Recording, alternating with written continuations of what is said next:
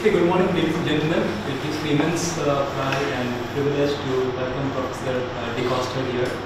I've known Professor de Koster's work for more probably a decade in his warehousing and logistics field, especially in the area of uh, container terminals, uh, warehousing, and uh, optimization, and several other fields. So there were several accolades and awards that he has received, uh, several best paper awards in JOM, IIE Transactions, and several other awards. He's a very distinguished, very well known in this particular when I welcomed him to IIMA, he was very eager to accept this request, and I'm glad that he's here today. And uh, without much delay, I would request him to uh, deliver this seminar, which is on uh, logistics human factor and whether the manager is able to play. So. So good morning, ladies and gentlemen. So I'm happy to uh, have accepted the invitation of uh, Professor Roy. Uh, uh, Professor Roy and I, we go together already quite some time, huh, since 2011, I think, when he was uh, visiting uh, Rotterdam. So since then has been visiting Rotterdam quite a few times. And together we have been starting a research cooperation. And we started in, in container terminals first. So uh, projects on container terminal optimization, modeling, and then we gradually moved into warehousing and now even to behavioral aspects. So my talk today is on behavior. So this is not my uh, interest since long, so I, I have done more work as an operations researcher, but this is an interest that I developed over time, and I'll explain you why I think it's so important and what you can do with it. So logistics, the human factor, can the manager make a difference? That's the talk. And you might wonder who are these two people on this photo. It's not very well visible maybe, but these two people are, uh, well, apparently this guy holds a trophy in his hand, and that's right because he's the logistics manager of the year in the Netherlands. And he's handed over the trophy by this lady over there, and she was the logistics manager of the year the year before. So she hands over the trophy to this guy. These two people are lo the logistics manager of the year, and you get that award because you do something special. So it's not an award for your company, it's an award for your person. So what have these people done? What these people have to do in order to get the award is you have to run a very innovative project, something really groundbreaking, at least for your company, groundbreaking. And second, you have to be a leader because doing a project is not something that you can do by yourself. First, you have to get your superiors with you. If your managers don't support you, you can forget you get it done. You also get, have to get the support of your colleagues, and you have to get the support of the people who you supervise. So as a logistics manager, you usually have many people below you, but without those, you cannot get it done. So the management qualities qualities we explicitly try to judge. I say we because I'm also chairing this award, so I know these people quite well. So I think these people have really done something special in their companies. Um, okay, so my program for today, I have a basically four topics in the coming hour. First one is, can we reduce accidents? Well, accidents reduction, I think I can tell you, is something extremely hot in Europe. In the US, and I would say it should be hot in India as well, because there are so many accidents here. There is something to improve here. Can we reduce the number of accidents? And all my topics here are related to warehousing. So I took one subject, which is warehousing. I know quite a bit about warehousing. So it's all about warehousing. Accident within warehousing, published in JOM in 2011. Second one is, okay, who should we hire in order to run our operations, in order to improve performance, productivity, accidents, job satisfaction of the workers. Which type of leader should we have? That's published in POM together with Dan Stam and Jelle de Vries, 2016. Next one is, can we increase the productivity of workers on the shop floor and how should we do that? And is it lasting? It was also published in POM in 2016 with the same uh, co-authors. And the last one, if I have some time left, I'll just touch on this one. This is a bit of different nature type of paper. So these are more uh, empirical, this is more OR. Uh, but only if I have time left, I'll touch on that one. So can we reduce the time needed for picking? You might say this is in line with that, but this is a completely different approach. And by the way, this is paper is not published. I'm having difficulty in getting it published. So, who knows? Anyway, what we want to do as a manager, you want to reduce accidents at the shop floor. This should be one of your prime goals. Get fewer accidents. We also want to have better productivity and we want to reduce picking time. So this is what we want to achieve. So let me start with the first paper and I have to apologize to uh, some people who attended the conference as I am because I gave the same talk there. Who attended that conference? One, two, three. So apologies to you because this is repetition for you. uh, so, but it's exactly the same. But anyway, so these are two pictures I took from the internet when I browsed on the following terms, accidents, warehouse, and forklift. And if you browse on these three terms, you get an enormous amount of hits. It's incredible so many hits you get with photos, with movies, showing all kinds of accidents and forklifts. And so this picture shows you a warehouse. And you might wonder, what happened in that warehouse? Well, I have not been there when they took the picture, but I can guess. So there are three people who know the answer, I guess, now. But for the others, what do you think might have caused this accident? It's pretty bad, eh? Any idea what a potential cause is?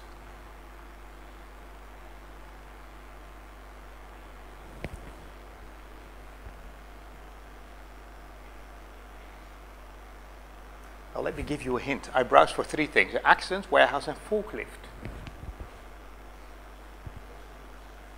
Yes, Professor Datta.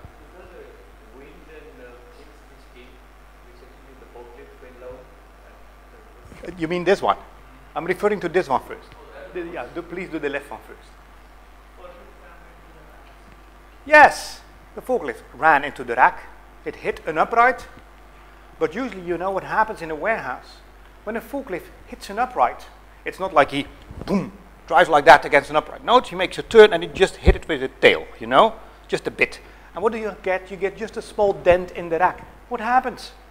Nothing happens. The racks are pretty firm, you know. They don't collapse.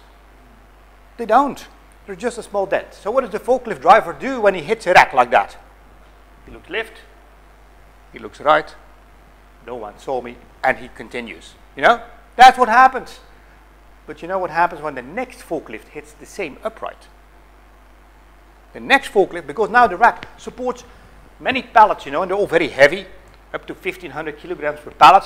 So you have eight pallets on top of each other that are supported by a couple of uprights. One of them is weakened. It is like this. Now the next forklift hits it with the tail, and then what happens? The rack bends over, and all these racks are parallel. So if one rack collapses, it may hit the next one, and you get a domino effect. And I think that's what happened over there. I'm not sure, of course. I wasn't there when it was taken. But this is what might happen. Now this one, Professor Datta, you seem to know the answer, right? You don't. it fell down. But why does a forklift fall over? How can that happen? I can tell you forklifts might fall over if they have a heavy load and they lift and they take a curve, for example. They're slightly out of gauge and he might just tumble over. But that's not what happens here because this is outside I don't see a load. And forklifts usually don't lift high and make a curve outside. You know, why would they do that? There's no reason. There's no rack to store something.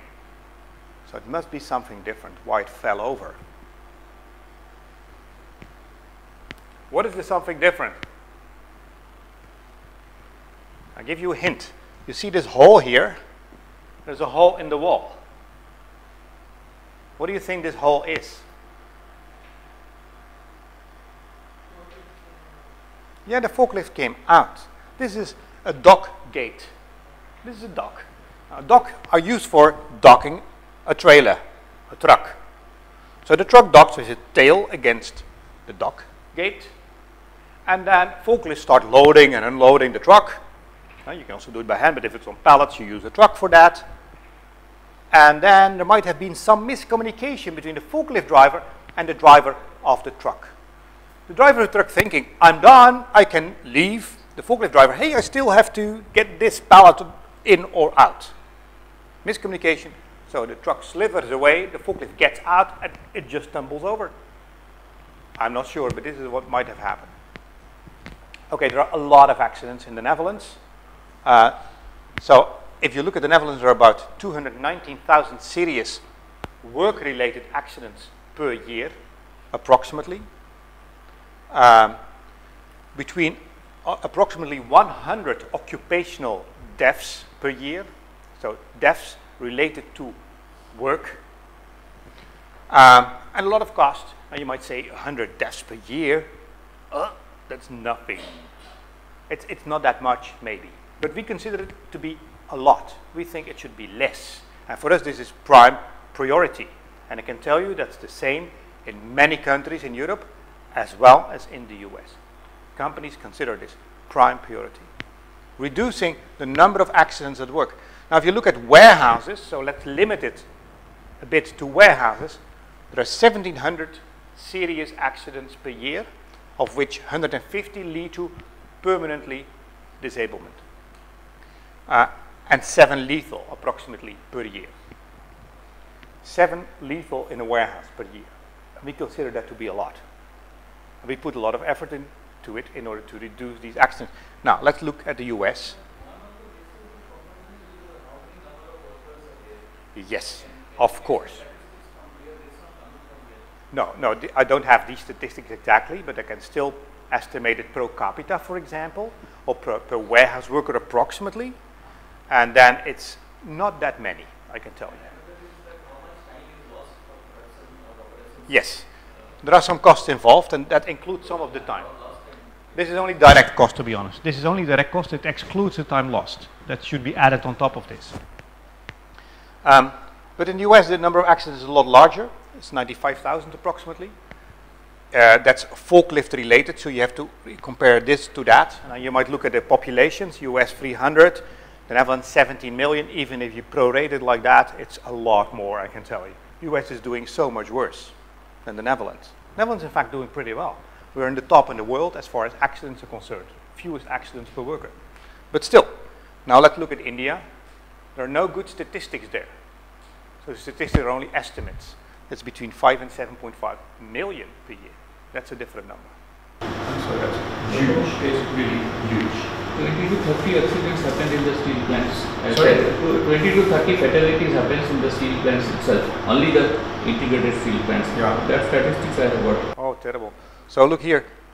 Between this are estimates only, eh? For Hindi- India, 50 to 75,000 people die on the workplace per year.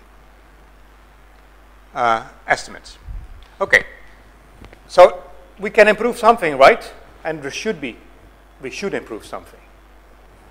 Um, and that basically triggered my research. And so I wanted to see whether we can do something as academics. In, or- in order to do that, I wanted to uh, answer this question. This is my research question. How can we reduce the accidents? What helps in order to get them down? What should we do? And this is a picture that was mailed to me by one of my students, and it shows a person climbing a rack in order to get something. And, well, this is just one, one of my students who mailed that, one of my MBA students. And you might wonder, why is this guy climbing a rack? Well, of course I don't know, but in warehouses, believe me, this, this person knows he should not climb a rack. He knows it. It's not like he doesn't know. He knows it. He's been trained, he's been instructed, don't climb a rack. But you know, he's climbing a rack. How should he get something from there? How should he do that normally? No, in the warehouse you don't use stairs. You use a forklift for that, right? So the forklift driver retrieves the pallet, puts it on the ground, you take the one item and the forklift driver has to put it back. But you know there's a customer waiting for this guy, there's pressure, I have to get this item fast. The forklift is nowhere in sight. I don't know where it is. So, what should I do? Wait until I finally find it or just get it now myself for this customer who's really needing it fast? You know, so there's a dilemma. And this guy makes a choice. And it's not a choice that's good for safety, it might be good for the customer though. Huh? So, my question was what can we do in order to bring accidents down? That's my research question. Now, I'm also chairing another award that's called the Safest Warehouse of the Year Award. So I have to audit a lot of warehouses. I go to all these places. We have elaborate tours. And also, also auditors, professional auditors go there. So I see so many good companies who are really exceptionally good. And they take so many different measures, you don't believe it. For example, one of the things you might notice is trucks cannot slither away from a dock door because there is a wheel cag. And in this case, the wheel cag is connected to a power outlet and inside there is a green light. So the forklift driver now knows it's safe to enter this trailer. You can do it, there is no danger whatsoever. And when it's un uncoupled, it becomes red. So you can no longer go in it safely. This is another company that came up with the idea of a safety fence on a forklift. So again, the risk of a forklift is if you have a heavy load, you lift, and you make a turn while doing that, you might fall over. So in order to prevent that the driver falls underneath the truck and is crushed by the truck, you have to wear a safety belt. It's compulsory It's probably compulsory to wear a safety belt in India for a taxi driver, you know. But there are very few who do it. And the same is true for forklift drivers. There are so few who really wear the safety belts. Why don't they wear it? Well, they know it's safer, but you know they have to get in, and out all the time, and they just find it inconvenient to do it. So this company came with the idea, company Nissan, they came up with the idea, let's have a safety gate. We first close the gate and it only drives when the gate is closed. Now, you cannot fall outside the truck, so you don't need a safety belt anymore. Problem solved. Um, this is a so-called narrow aisle. In a narrow aisle, so it's only 1.6 meters wide, in an narrow aisle you have dedicated trucks that drive in this narrow aisle. Very big, heavy, huge machines, weighing up to 70 tons. They're really very heavy. Sorry, 7 tons not 70, 7 tons, sorry. But still, if it hits you, don't believe you will have nothing left. Eh? You, you experience something. You probably get crushed or whatever. So in order to prevent that this person on foot is hit by a truck, it just puts a safety cone as a procedure. Put a safety cone in front of the aisle so that the truck driver is now warned, don't enter this aisle when there is someone on foot. Or you can close it off temporarily with a safety line like this. So every aisle here in this warehouse has just a safety line which you can attach. Very simple device and effective. This is a video of a safety uh, light. It's called a blue spot. Well, the sound is not important. It's a blue spot mounted on a truck.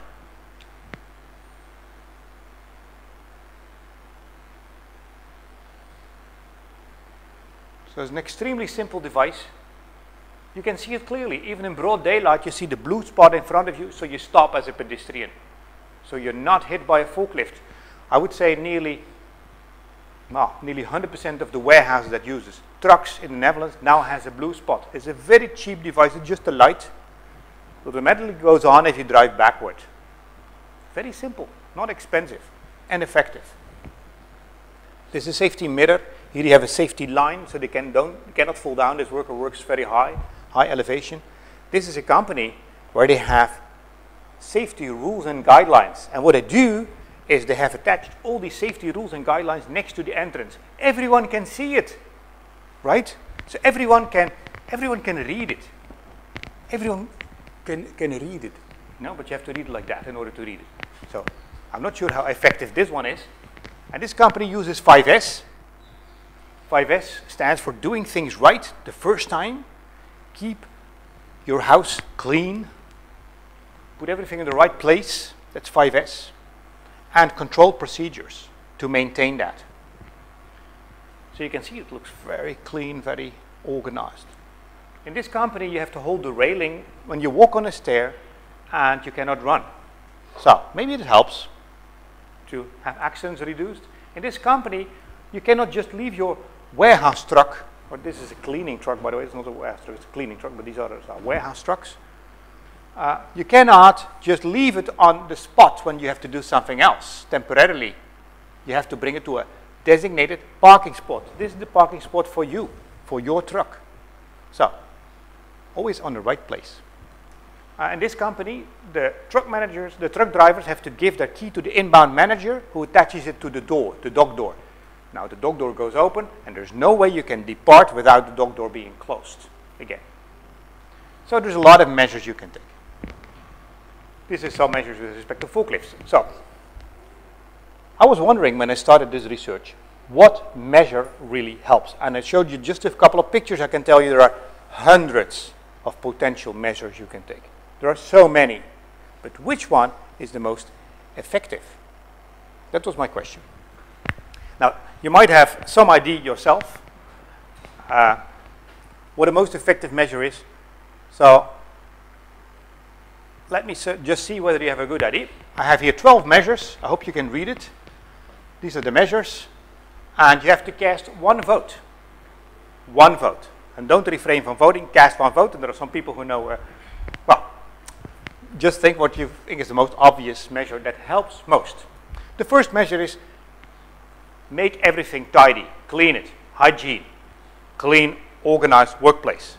The second one is train your employees for safety. Give them safety training. The third one is safe storage and parking. Put everything where it belongs. Don't drop things temporarily on all kinds of spots. Put it where it belongs. Equipment and products and product carriers like pallets. Put them at the right place.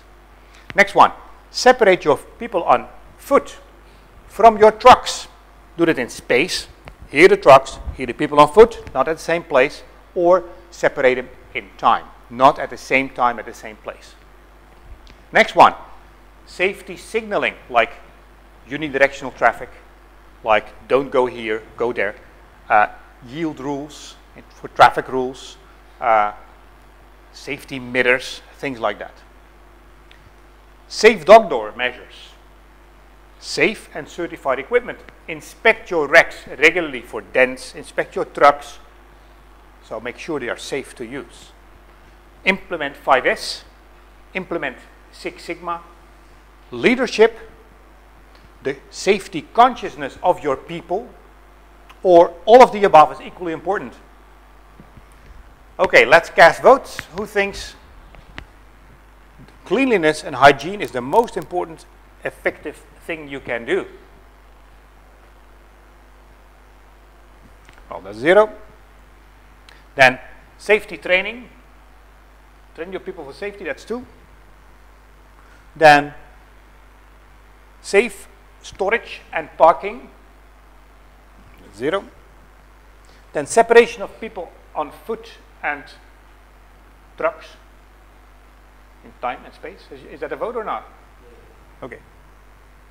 Then safety signaling, zero. Safe dock door measures, zero. Then 5S, uh, sorry, safe and certified equipment. That's zero. 5S. Zero. Six Sigma. Is that a vote? Six Sigma? Yep. Leadership, two, three, four. Safety consciousness of the workers, one vote, two votes, sorry. Uh, I'm thinking you voted twice, Professor Datta. You're cheating. Uh. this one? Yeah, okay. Okay, I think we have one vote too many now. All of them is, are equally important. That's two votes. Including some double counting? I don't. Okay. Um, so the top three, top four here. This is number one. You cannot read it. Uh, what is this one? So there's leadership, and X equal we have safety training, safety consciousness, and everything is important. So I think you have a pretty good uh, intuition what is important and what is not. We wanted to find out what is really the Im most important one. And in fact, we all included, not this one, all of the things, well, we included all of the things to start with, of course. But in our hypothesis, we thought there are some particular ones that are more important. But we definitely included leadership, safety consciousness, and also safety training in our first model. So there are two theories that tell something about what really helps, and, or that help you in determining what determines accidents or what might prevent accidents. The first one says, well, basically it's unavoidable that you have accidents. If you have a complex system, accidents will happen. And the second theory says, well, there exist highly reliable organizations, even in complex systems that are tightly coupled. And this is due to specific management practices. So basically these two theories are sort of opposite. And they are not in line with each other. And the question which of the two is more valid in practice. So I thought the second one was more valid uh, because I see so many good warehouses. I think you can do something about it. Come on, this must help. All these measures that you're taking, they help. Um, so then we came up with a model. The dependent variable here is the number of accidents per employee over a certain time period, per direct employee, employee on the shop floor, right? So accidents per employee over a certain time period. That's our dependent. Now we thought, in line with what you have been thinking, and also in line with literature, that one of the most important drivers for accidents was the safety consciousness of the workers. If they are more conscious about safety, well, they will not take so many risks. So it will impact their behavior, and their behavior determines accidents. So then we included leadership, and this is a specific form of leadership. It's called transformational leadership. Now, transformational leadership is a leadership style which differs from the opposite, which is transactional leadership. Now, transactional leadership is a leadership style where you have a boss, superior, and you have an employee. And that relation is based on a transaction. Like, I'm the boss, I tell the employee, you have to do that. I expect you to do these things. Employee expects payment from the boss in order to do these jobs. That's a transactional relation. But transformational leadership is something different. It's like, I want to achieve something, and I want to basically infer that on my employees. I want to transfer my beliefs, my goals, my objectives, my, well, my important things in life on my employees. Transformational. And in this case, with respect to safety. So it's safety specific transformational leadership. That was the construct we were looking for. We thought it will influence the safety consciousness of the employees, so it's a mediator, but it also have a direct impact. And then we looked for all these different measures, hazard reducing systems. So this is one variable, but it's not. These are hundreds of potential measures that you can take. But to make the model a bit more, well, easy to understand, I just put it in one box, but in fact there might be there are hundreds of these measures that you might take. And we also looked at the, the quality of the registration system. How well do you register accidents, near accidents? Okay, so this is the model we want to investigate. And there are some hypotheses involved, but it's not as a simple model as you might assume. There are a number of difficulties if you want to study a model like this. Uh, let's start with the unit of analysis of this model. So what is the prime unit of analysis? What is a data point here? Well, dependent is accidents, right? Accidents per employee per year. So what is the unit of analysis where you measure that? A what? Number of fatalities. Yeah, that's your dependent variable. The, no, not fatalities. Accidents. That's something different, right? Fatalities are part of that, but it's not exclusive. So number of, uh, no, I'm saying the same, number of accidents per employee per year. Right? Well, per, per year, per time period, right? That's my dependent. So what is the unit for which I'm measuring this?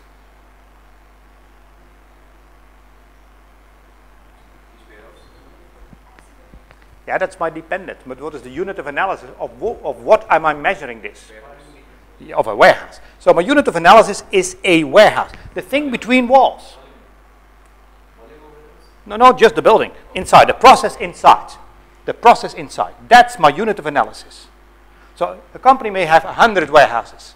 But that means it might have 100 data points for me if I can measure all these different warehouses, right?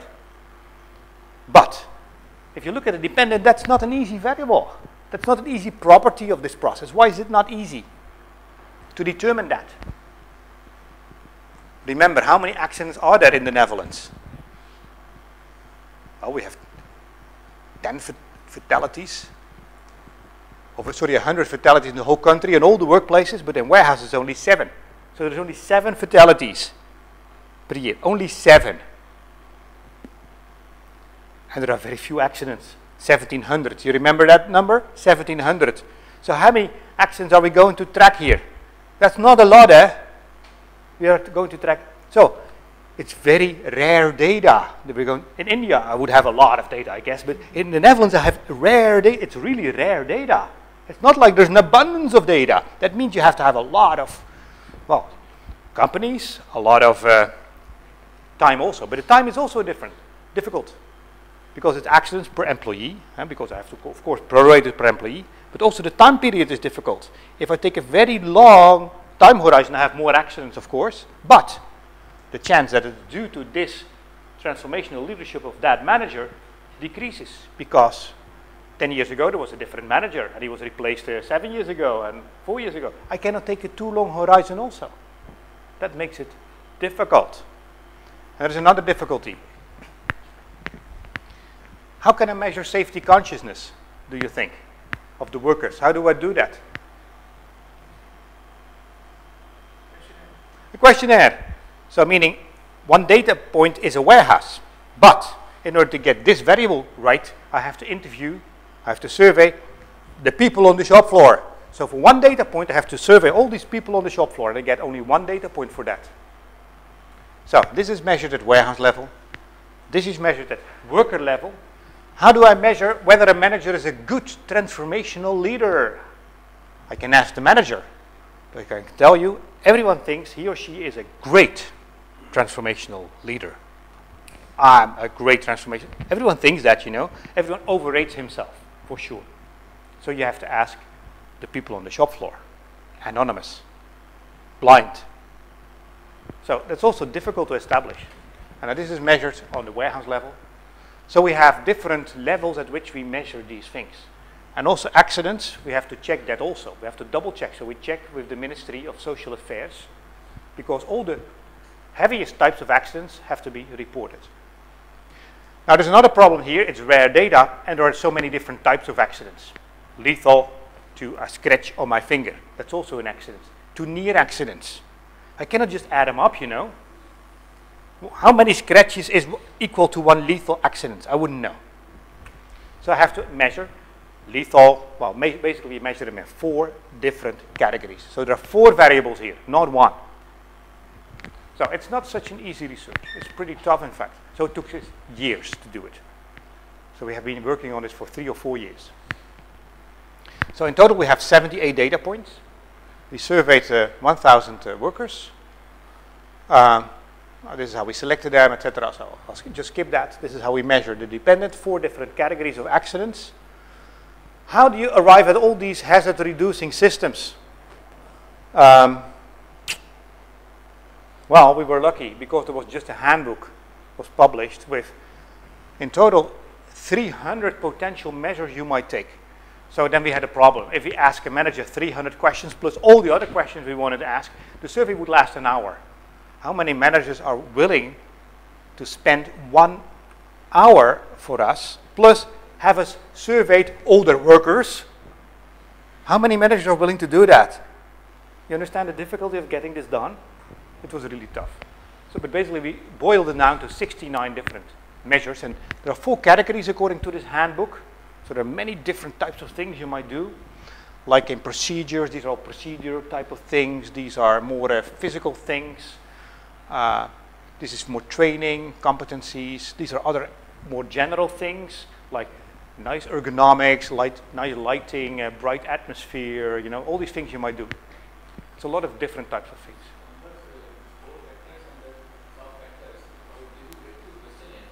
How do you what? These all came from the hand. These were written down in this book. So we went through this book. It was a very thick book very unstructured, but we were so lucky it was there. And this is just from that book. And this is the grouping that was given in that book. And all these things were, of course, described how you might do it. Eh? So, but what he did is he did a factor analysis because all these measures, well, we, we boiled them down to 69, and 69 is still too big to include in, in a model with consists of 78 data points. Eh? Come on. The, model is completely, eh, it's completely, uh, will be completely wrong. Too many variables for the data points. So you have to boil them down. So we brought them down to four different factors using factor analysis, explaining, I think, 30% or so of, the variance. So it was not bad. It was pretty good, these four factors. Explain a lot.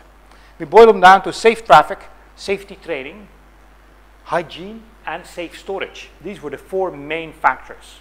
So safe storage? Yes. One of you said that, right? Yes, we indeed got that. That was one of the main factors. Now, this is how you measure leadership. Transformational leadership, but then specifically with respect to safety. And it's all pretty obvious if you read it. So transformational leadership, leader is someone who sets the example. If you don't set the example yourself with respect to safety, your workers will not follow you. They will not do it. You have to be better than the rest. If you tell your workers do this and you don't do it yourself, forget it.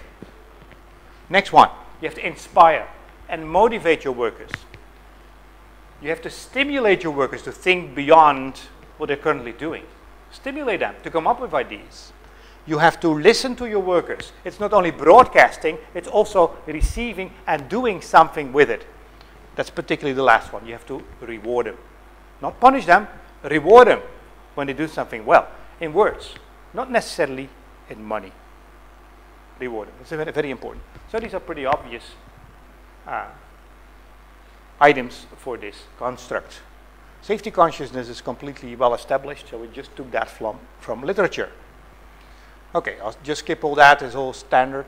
Then you test the hypothesis, and this is what came out. Came out.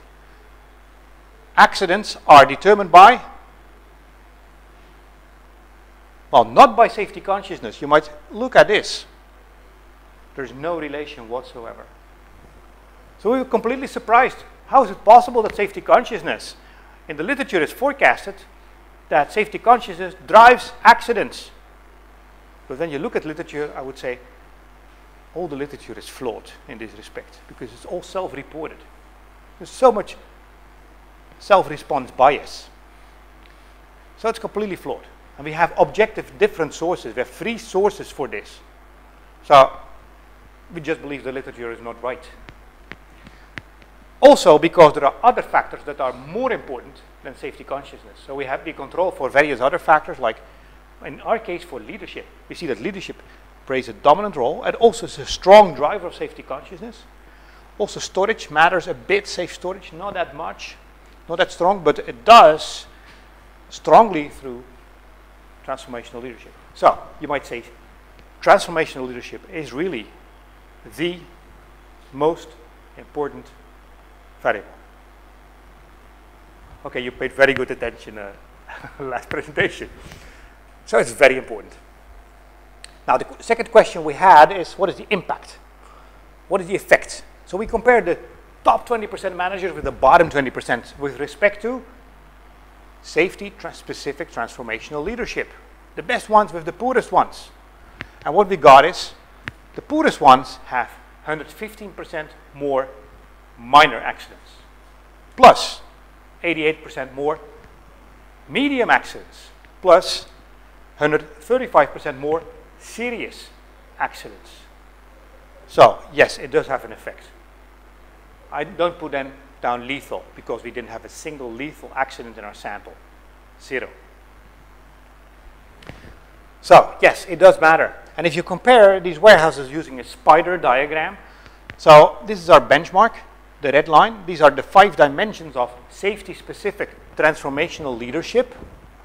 More is better, so more outward is better. You score higher on this dimension of safety-specific transformational leadership. You see that one of our winners, which was CEVA, a couple of years ago, CEVA Warehouse won this award for safest warehouse.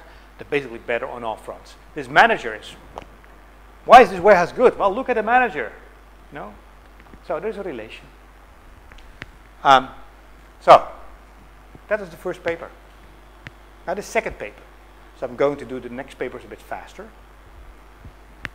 Second paper is basically a continuation of the first one.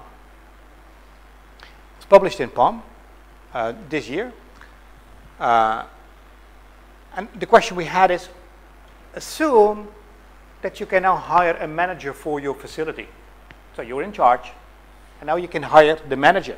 And your objective is, you want to bring down the number of accidents. Who should you hire? Can you test for that? And by the way, we also want to improve productivity, or at least we don't want that improving safety goes at the cost of reducing productivity. So we also wanted to control for productivity, see whether that had an effect. So who should we hire? And we looked particularly at a construct called regulatory focus.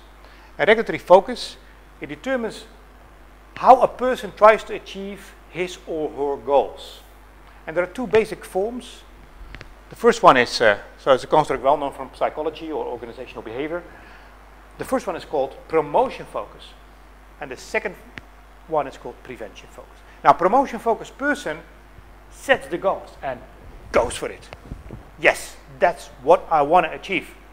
Nothing can stop me of getting there. But prevention focused person sets the goal and sees all kinds of obstacles on the way of getting there. So he or she tries to avoid these obstacles and still gets there by avoiding obstacles. So it's a different attitude, you might say. And you still might get there both, eh? You might get there both. And usually people are a bit more of one or the other. Now, okay, I have a small survey, but let's not make it too difficult. So, whether you should hire one of these persons, what, which one has the most effect on these accidents? That was our question. Eh? Should the person be promotion focused? Should it be prevention focused? Should the person be both? Or, well, it doesn't make any difference. Well, we thought prevention focus makes a difference. So we also tested for promotion focus. In fact, we included both variables. But if you look at the effect, then what you find is that particularly prevention focused does the job. Promotion focus doesn't have any effect whatsoever. If you want to reduce actually the, these numbers are, by the way, not correct. These are from the previous model, but now we include a different, uh, different additional variable. But I can tell you the strong effect exists of prevention focus. It has basically an impact on the type of leader, the type of leadership you exert, you, you are on the shop floor, uh, and it has a strong effect on safety performance. And by the way, we also checked for these productivity, quality, and job satisfaction of the workers. And if you look at productivity and quality, if you go for more safety, it does not hinder productivity. Productivity is not affected whatsoever. By the way, also, quality does not seem to be impacted, but the job satisfaction of your workers does appear to be impacted a lot. So you have happier workers. Wow, that's great as well, right? Happier workers on the shop floor, fewer accidents, and you can test for this construct by seven questions. So it's not a very difficult thing to test. It's pretty easy. Um, okay, so that was our second paper in a nutshell. So conclusion of these first uh, two papers, uh, we think leadership is crucial for reducing accidents. So there are many things that are important, but we think it starts with the right leader, the right leader in the workplace. And all these other measures might help additionally, but it starts with the right person, going for it. Um, in particular, prevention-focused managers appear to perform better. And the focus on safety does not impact productivity or quality, but it does impact job satisfaction. Okay, this was our first work, and after that we got enthusiastic for this topic. Behavior of leaders is important, but what about the behavior of the workers? Is that important as well? So in our next paper, we wanted to focus on the behavior of the people on the shop floor. Can we influence the behavior, or how does the personality of a worker influence the output? Now, that was an interesting question as well. So that was our next project. And we uh, started a project on what determines the productivity of a worker. what can we do in order to increase it? And to what extent does it depend on the personality of that worker? So, the title of this paper, I think it's not a title, but anyway, what we're looking at is aligning the picking methods. So you have different ways to pick an order, different methods, with the personality of the picker and the incentives you give to that picker. So we try to align these three things. The right method for the right person with the right incentives. Does it matter? That's basically the question. Okay, so this is an order picker, by the way. So he walks uh, with a picking cart along a shelf rack and he picks items from the shelf rack for a customer order. In this case, using a paper list that tells him what he has to do for that customer order. Um, so we looked at different uh, objectives, not only throughput, but also quality of the work, job satisfaction, of different order picking methods with different incentive systems, with different personalities of the people. Okay, so what are the methods? Let's start with that. Well, to pick orders, we compared three different methods. There are very straightforward methods. There are many companies that use them. Method number one, give a worker a pick list and let them work parallel. Everyone works on an order separate. A straightforward way of doing it, eh? parallel picking, straightforward. Many companies just do it like this. Method number two, slightly smarter maybe, because in parallel picking, what you end up with if you have a big warehouse is that people have to walk long distances. So you have a lot of unproductive walking time. So method two copes with that. It divides the warehouse in zones. This is for picker one. This is for picker two. This is for picker three. Picker four. And what we do is we pass the order from worker to worker. So there's a buffer in between, and we just pass it between the zones. It's called sequential zone picking. Method number two.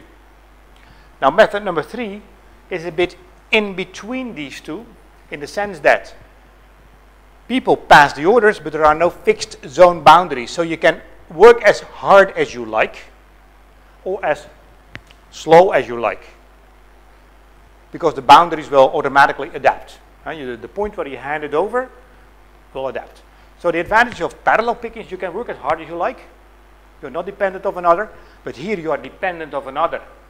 If you want to work and there's nothing in your buffer, you don't have to do anything. You just have to wait, you know. So your working speed is also determined by your neighbors.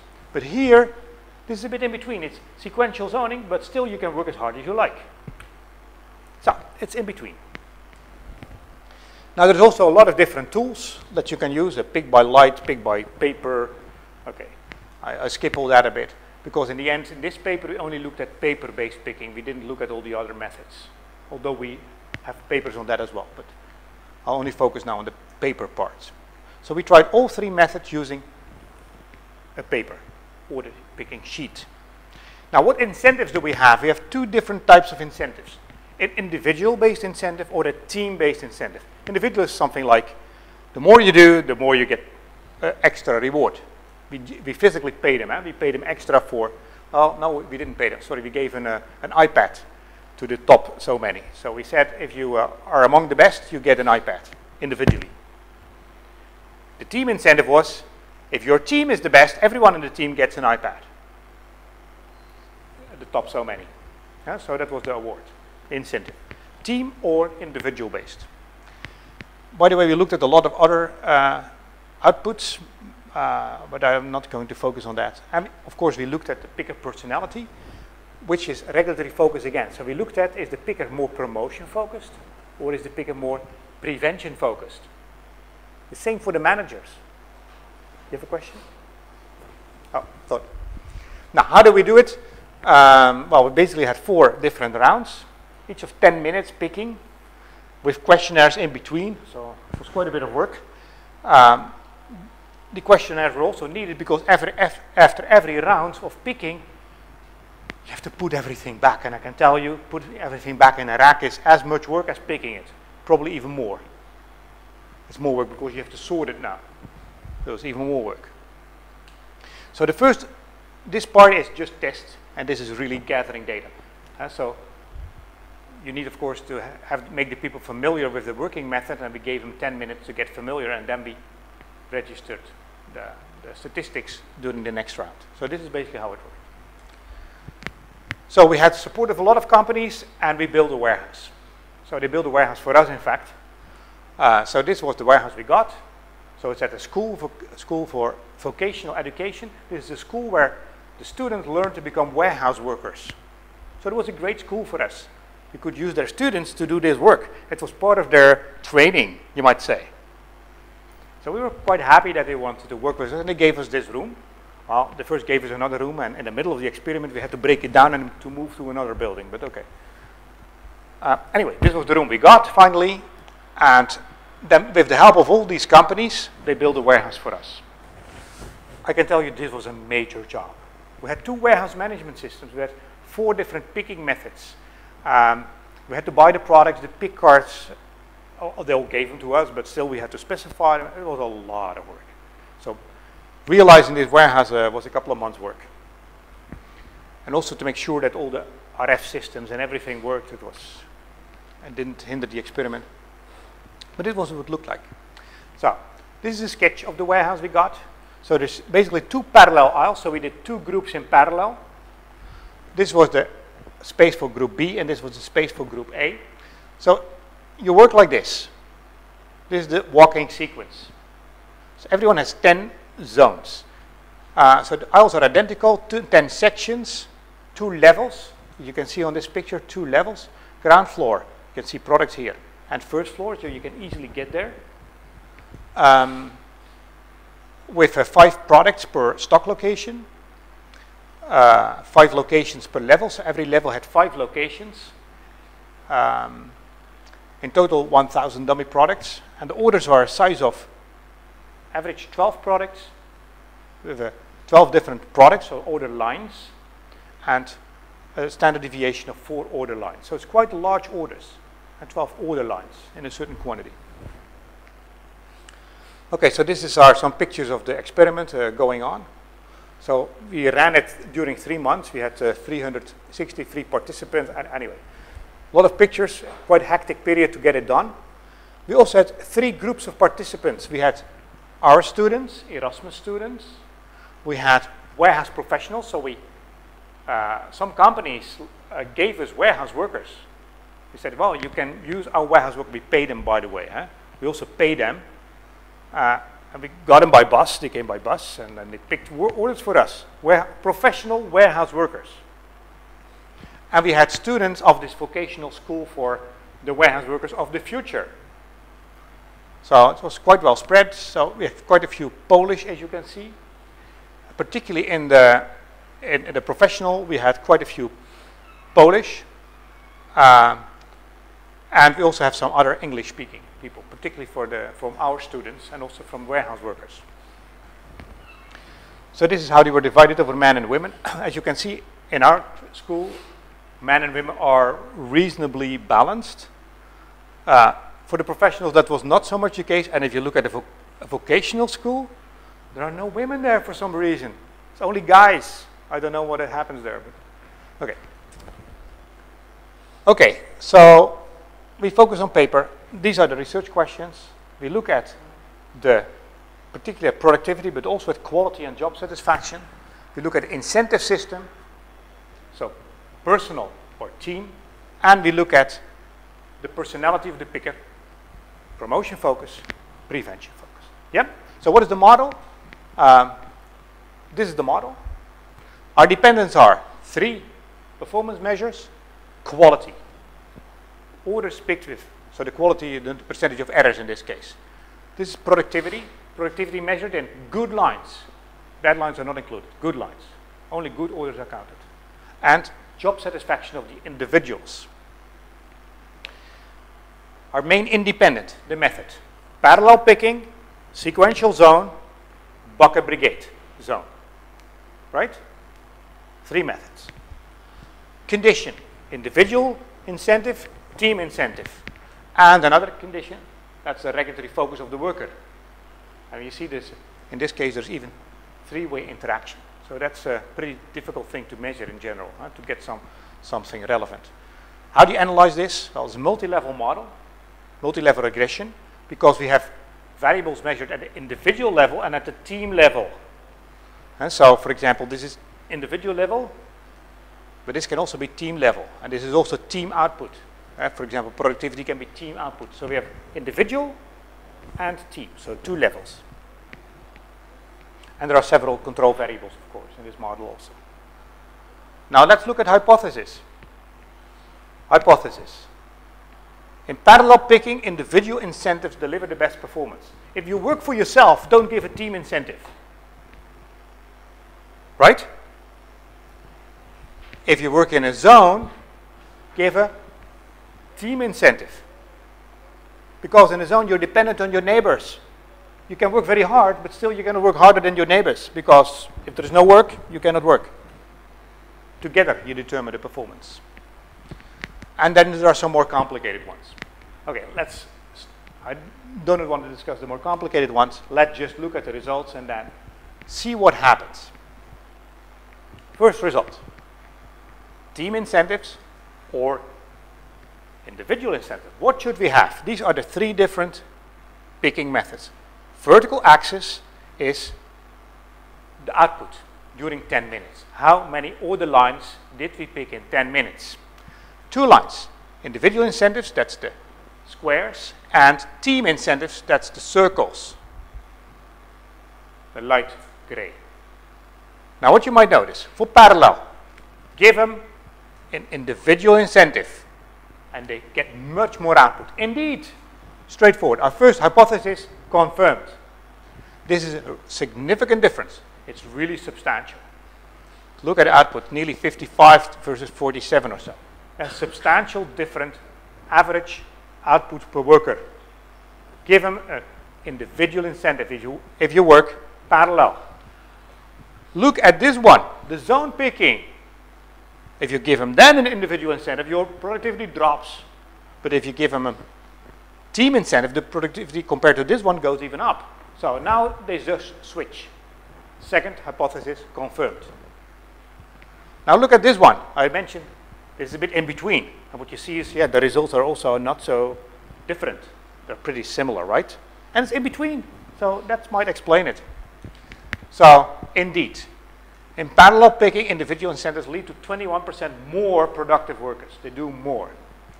Team incentives in a zone picking system lead to 25% increase in productivity compared to individual incentives. So yes, the differences are not small, they are big. And here they are not significant. Okay, that was the simple one. Now let's look at a bit more complicated hypothesis. More complicated. Meaning we are now going to look also at promotion and prevention focus. What is the effect of that? Okay, first I'll look at the prevention focused people only, the people who try to avoid obstacles in order to achieve their goal, right? My goal, get an award. That's my incentive. Parallel, zone, dynamic, productivity. How much did I do? What you see is that the team incentive works best for in all situations even for parallel picking, you might remember individual incentive work best for parallel picking, eh? but not for prevention-focused people. For prevention-focused people, always team incentives work better. They work better in a team. Interesting, eh? I thought it was interesting.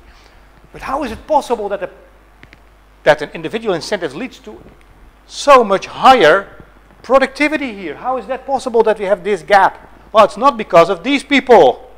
Because the prevention focused people just have it the other way around. How is it possible? It's because my promotion focused people, they start flying with an individual incentive. They start working so hard you can't believe it. So the gap is 21%, but the gap is negative for prevention and it's huge for promotion focus. So they do much more than 21%. They can go as high as 40% or 45% more productivity. It's incredible. And by the way, look also for the, uh, for the zone picking. For zone picking, team incentives always work best, even for the, you might say, the people that go for individual performance. Even for them, zone picking, still give them a team incentive. Don't give these people individual incentives. Okay, so I have a couple of other results, but in view of time, I think I should round up. I just want to give you one example. And the example is I start with a warehouse. So what is the practical impact of this? eh? Let's assume I have a warehouse with 20 pickers. And I know that 10 are more promotion focused and the other 10 are more prevention focused. eh? Just an average sample of people, some promotion, some prevention. And so what's my wage cost? Well, in the Netherlands, that would be uh, gigantic compared to India, I guess. $580,000, that's what I have to pay per year in wages for this warehouse. And I use zone picking, and I give them an in- individual incentive, right? A small individual incentive. If they perform more than something, you get some incentive. Okay, this is the initial situation. Now what happens if I change my incentive system to a team incentive? Well, I get 34% more productivity, more output. I also get more errors, unfortunately. I get more errors simultaneously. Hmm, that's not so nice, eh? But on the other hand, the errors were not that much. So 64% more of not so much is still not so much, but still, you get more errors. But then what I do is I send my people on a training because, you know, regulatory focus is not something that's part of your personality. It's something that can change. At least on the shorter term, you can change it by training. So I give all my workers training, and because of that, I'm able to change uh, five of the 10 people that are currently uh, more uh, prevention focus, I'm able to turn them into more promotion focus. So I have 15 promotion focus and five prevention focus. Okay. What happens then? I get even more productivity. So my productivity goes even up more, and now my errors drop. Conclusion, well, I can do it with fewer people. If I want to have the same output, I can save $160,000 per year on salaries. And in the end, my errors don't go up a lot. They change not so much.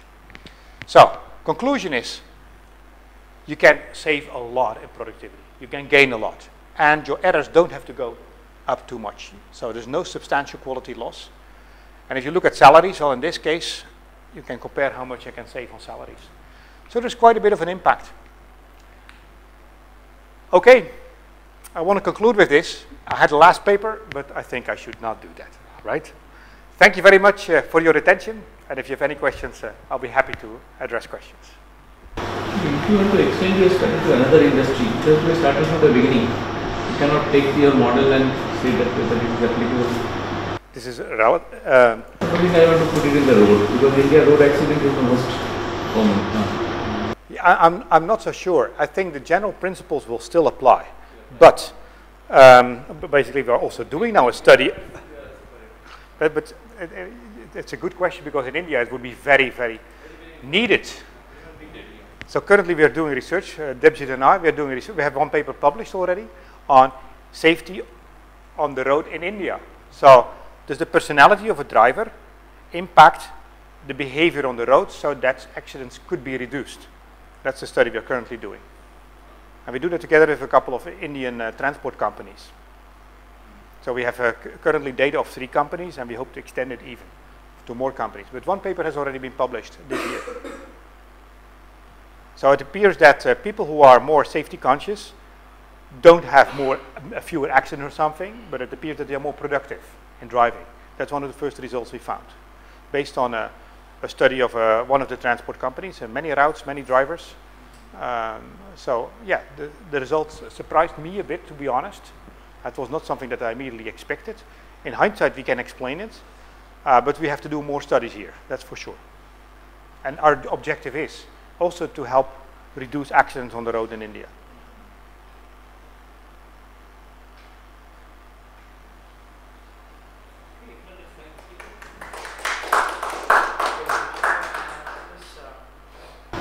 have you explored using this match, uh, nudge theory this, to reduce accidents. Sorry, how do Nudge, match.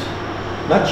Match theory. Like this. Uh, Oh, sorry, I don't know that the- theory, I'm sorry. Uh, Sunstein and uh, Dan Uh, so it's uh, means what they do is like instead of uh, so they give a sort of push like some display something Yeah, like uh, you have something on cigarette packs. yeah. That's a kind of nudge.